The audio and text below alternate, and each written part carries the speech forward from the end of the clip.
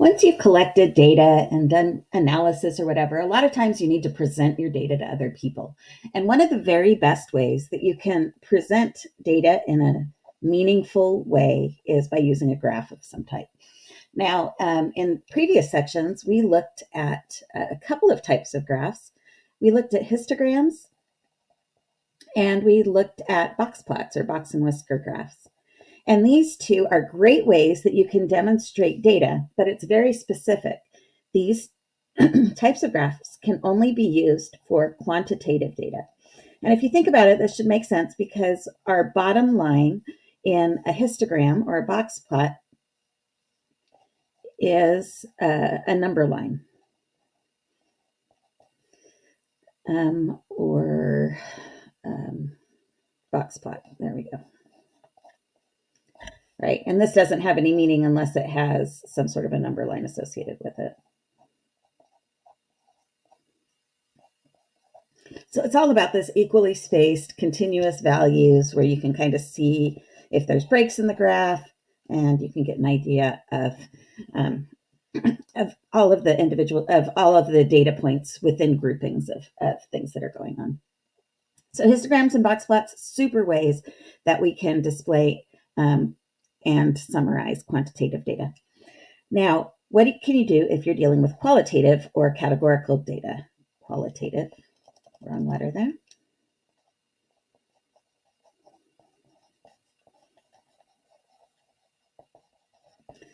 Uh, the two most common ways that we can display categorical data are bar graphs and pie charts.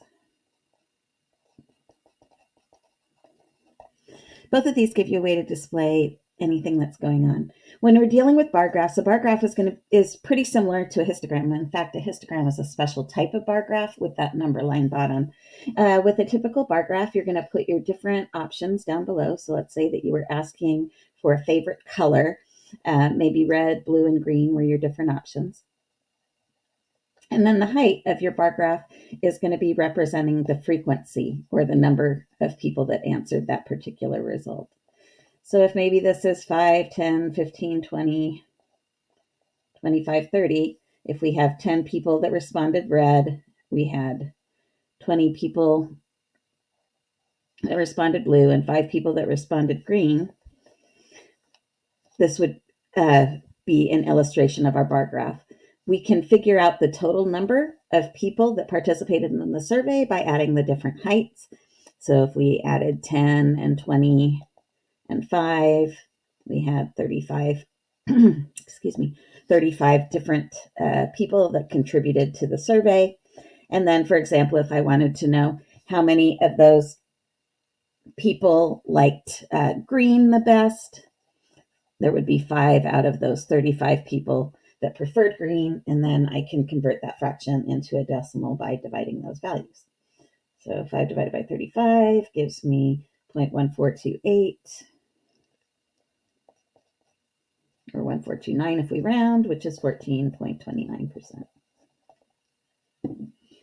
So this is an example of a bar graph. Uh, another type of bar graph that you'll see sometimes is called a relative frequency bar graph.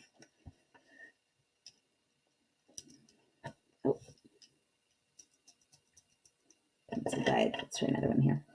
Relative frequency. A relative frequency bar graph is going to be almost the same as a frequency bar graph, but the difference is instead of showing the count or the, in this case, the number of people in the survey, uh, it's going to show a percentage of your value. So if you're looking at a frequency bar graph,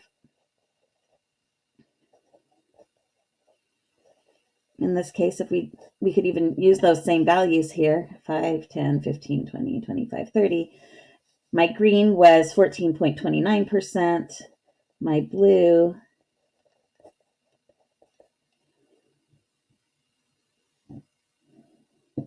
yeah, 20 divided by 35 is 0.5714 or 57.14%. And my red was 10 out of 35,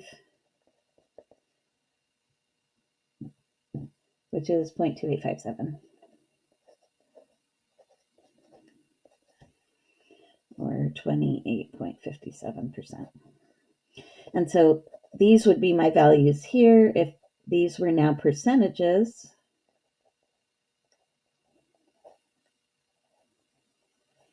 what I get is just a relative comparison where I can pictorially see the different heights of my graphs. There you've got your 28%. We have our 57.14%, so up there somewhere, and my 28.57% down here.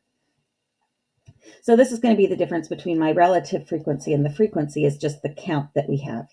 Here with a standard bar graph, it's counting by numbers. With a relative frequency bar graph, it's counting by percentages. Here we can get a good view, very obviously, of which one there's the most of. Oh, hang on, 14.29. This was down farther here. And we can see the same kind of pattern that we have up here in terms of the height of our different of our different graphs. One thing with the relative frequency is we don't necessarily know how many people were surveyed or anything like that in this one, where here we could count up these totals to get uh, the total number of people that were contributing to the survey. With a relative frequency bar graph, if we were to add up all of these totals, what we would end up with is 100%. And you can double check that work here to see how that goes. If you ever have any time that you know 100% of the data values, the other type of graph that you can do is a pie chart.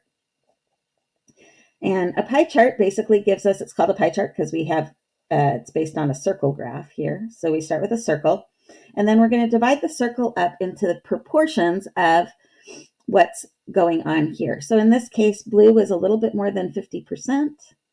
So this was uh, 57.14%. This was my blue section. Uh, red was about 14%. Or sorry, green was 14%. And red over here was at 28.57 percent. And so we can see this breakdown really nicely, and it gives us a nice visual look at what those percentages are. Uh, you can calculate these uh, by hand by figuring out how many degrees there are in a circle and all of that kind of thing, but technology does a great job. And you can find a variety of programs, even the graph sets in Microsoft Word or Excel if you put your data points in, they can come up with a pie graph that has all of the angles exactly right so that they're proportional in terms of how they label. Uh, a pie chart, like a relative frequency chart, loses how many people participate. So if I didn't have that information, all I would know is just essentially the percentage of a population that felt a certain way. It's an easy way to identify which one was most and least and have a general idea of what's going on. However, if they told you that maybe this time we had these percentages, and if they told you that maybe there were a total of, I will make it easy, 100 people surveyed, then I could go back and I could figure out each category as long as I knew the total. I can use those percentages then. Uh, so 57.14% of 100 people, and I can multiply that percentage in decimal form by that, and I get 57.14 people. Out of the 100 people were uh, recording blue. And we'd have some rounding issues and stuff that we could deal with as far as that goes.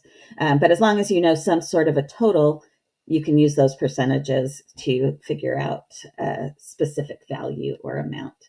Uh, but otherwise, that pie chart loses those particular values.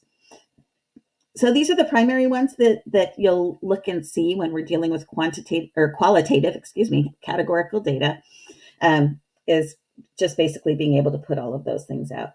If we have numbers or quantitative data, then uh, histograms and box plots provide a better look at uh, displays for your data.